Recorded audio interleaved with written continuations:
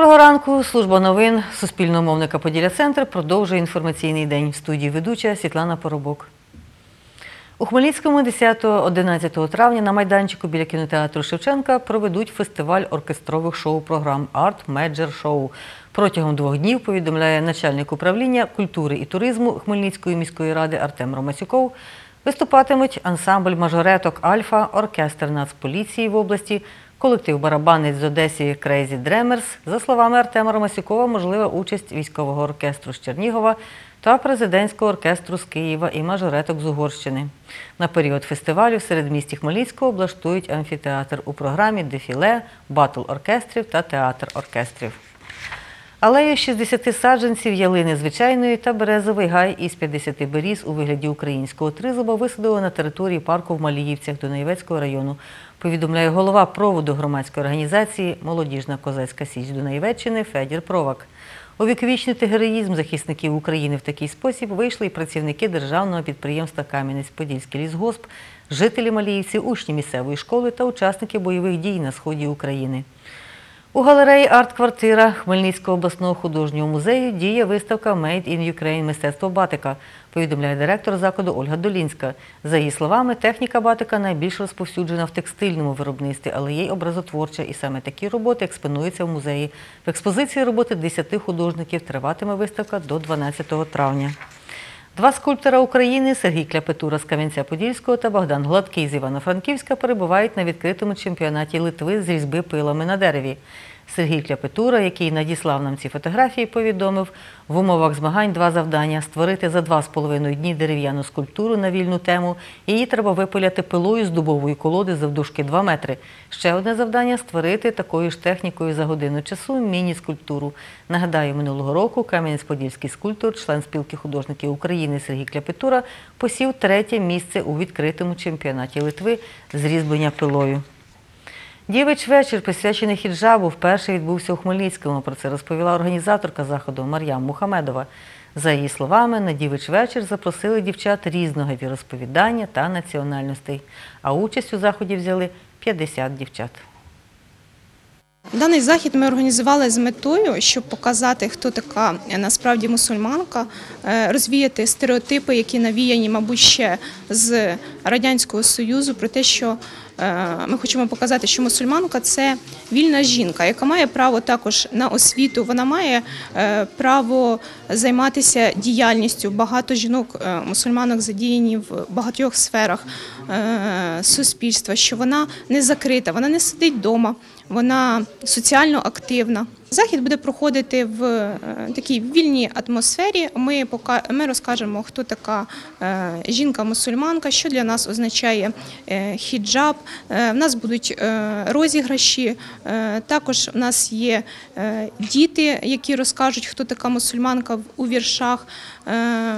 Також гостей очікує фуршет. Дев'ять юнацьких регбійних команд з України та Литви змагалися в Івано-Франківську. Там відбулися чемпіонат України серед команд західної зони та Кубок Івано-Франківська. Хмельничани виступали двома складами Ю-12 та Ю-14. І обидві команди клубу Буревісник стали переможцями, повідомляє тренер Олександр Мігунов. За його словами, хмельницький гравець Максим Мельничук ще й визнаний кращим гравцем змагань. Учора в Хмельницькому відбулася перша зустріч другого кола чемпіонату України з футболу Ліги учасників АТО, в якій беруть участь 40 команд, поділені на 4 дивізіони. У дивізіоні Центр грає команда Хмельницького гарнізону Поділля АТО, повідомляє гравець Олександр Слободян. За його словами, 14 квітня його команда зустрічалася з прикордонником Оголів Подільського та виграла з рахунком 3-0. За словами Олександра Слободяна, змагання влаштували для всіх, хто був в зоні операції об'єднаних сил та вміє грати в футбол для відновлення психологічної рівноваги бійців. Це чемпіонат створений взагалі з метою реабілітації учасників АТО після бойових дій. І справедливий так, він допомагає нам відновитися, війти в мирну колію життя. Понад 200 спортсменів взяли участь у відбірковому чемпіонаті області з рукопашного бою. Змагання відбулися в спортивному комплексі товариства Динамо на вулиці Зарічанській обласному центрі. Більше розповість Андрій Гуменний.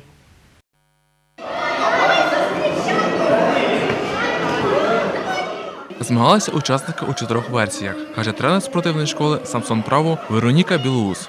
Це є чотири версії: Е, 104 людини в дозованому контакті, 100 102 людини в легкому контакті та 21 людина у ката зі зброєю, 21 людина ката без зброї.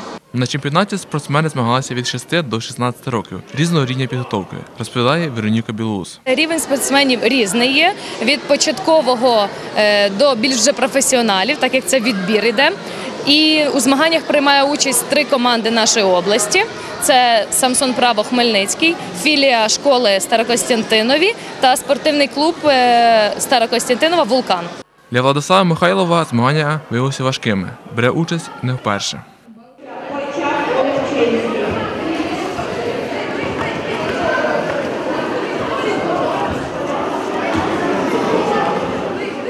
Це було сложно, ну я виграв. Е, Це була побіда на нокдауні. Я йому зробив бросок, ну я не міг, я не зміг його утримати, ну я його виграв. Для Богдана Сидила ці змагання одні з перших. Проте це не завадило йому отримати перше місце. Хлопець каже, що мріє перемогти на чемпіонаті України. Я коли виросту, мечтаю піти на чемпіонат України.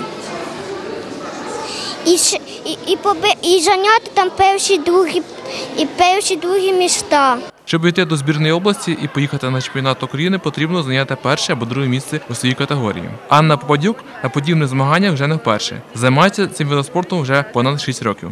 На Україні я вже багато разів виступала, і... але це одні з багато досвіду з них е, черпаєш, і тому хочу поїхати на них ще.